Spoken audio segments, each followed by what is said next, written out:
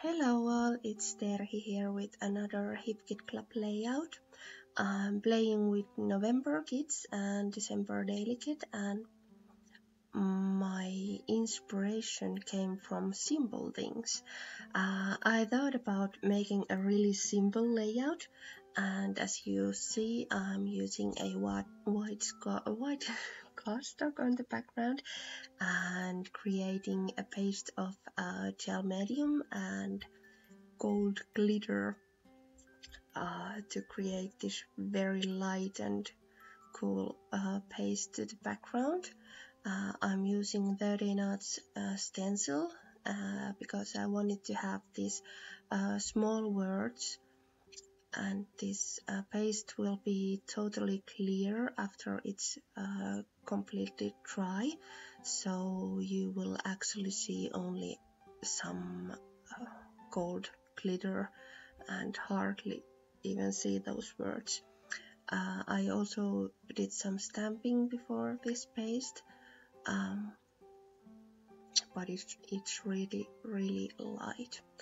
And now we are getting to the simple part. Uh, as you probably know if you have seen any of my layouts I'm usually doing a lot of paper layers and um, kind of messy looking layouts but now I want to have these really simple paper layers uh, behind the picture and nothing too much so I'm adding these um, this little paper cluster and then some some more papers but uh, really square shaped and um, focused on the top of the layout. Uh, I'm not adding anything to the bottom uh, of the layout only to this uh, paper cluster thing this square square thing. Uh, I'm adding one embellishment this um, golden die cut um, and then the title it it was maybe from October kits I don't remember right?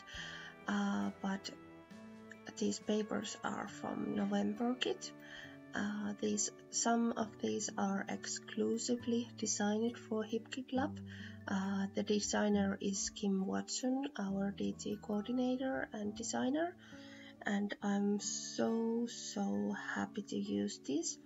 These has this little sheen on them, so these are really cool for scrapbooking.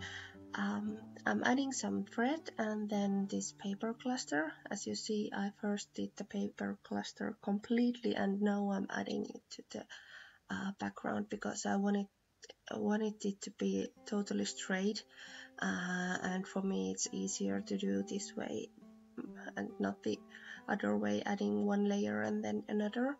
Um, I'm finishing it with uh, some mist splashes and uh, black ink but that's it. There is nothing more and this was like really simple for me and I'm so proud I did it so simple. As you see, you don't actually see those words a lot here now. So that was it and that was fun and thank you for watching and I hope you enjoy November Kits as much as I did. Uh, thank you for watching and bye!